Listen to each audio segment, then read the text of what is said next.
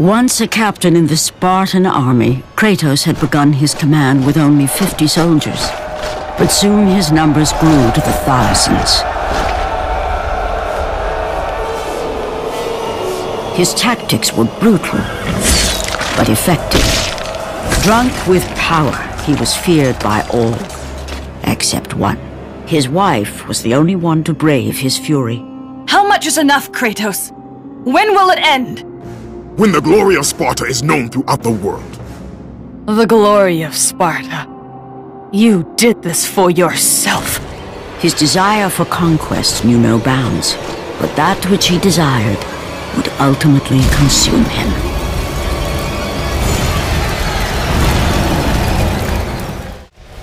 As promised, Ares rescued his new disciple, bringing forth the power of a god destroying those who would slaughter Kratos and his men.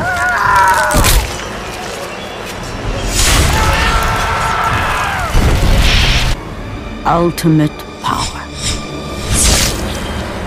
The rage of Ares exploded from within.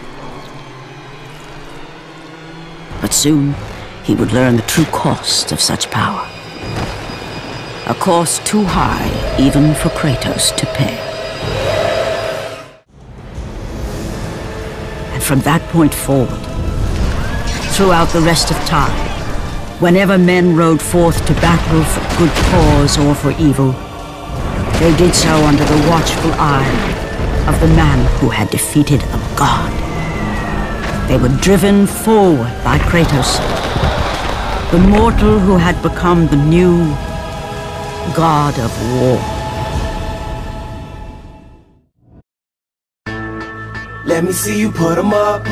Reach the sky, touch the stars up above. Cause it's one time for the underdog. One time for the underdog. You got the world on your team.